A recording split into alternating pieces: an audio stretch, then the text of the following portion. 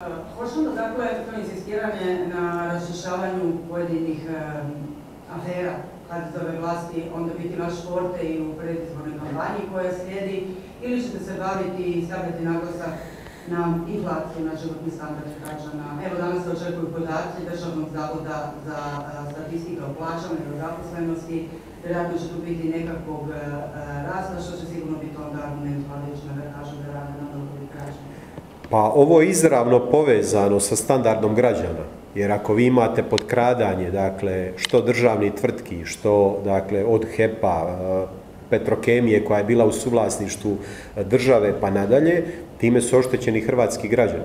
Mogu li hrvatski građani za jedan cent dobiti plin kao što je dobivao tajkun Vujnovac? Ovo će sigurno biti jedna od bitnih stavki našeg programa, dakle izravno je povezan standard hrvatskih građana, inflacija, iseljavanje iz Hrvatske sa, sa ovim temama o kojima mi govorimo. Čitao sam, ne znam je to bilo jučer ili prekjučer, jedan od urednika jednog našeg dnevnog lista kaže ovaj nije inteligentno od oporbe otvarati plinsku aferu kada vlada građanima osigurava jeftin plin. Pa čak i da je to tako, ako je to jaka strana vlade, upravo bi oporba trebala tu jaku stranu razotkriti da to zapravo nije tako, da se ne pogoduje građanima, nego da se pogoduje tajkunima ovaj, mi ćemo nastaviti bez obzira što pojedini mediji koji su očito dobro financirani od strane vlade ili prvog plinarskog društva pisali, mi ćemo nastaviti rasvjetljavati ovu aferu i nećemo se dati zaustaviti bilo kakvim napadima.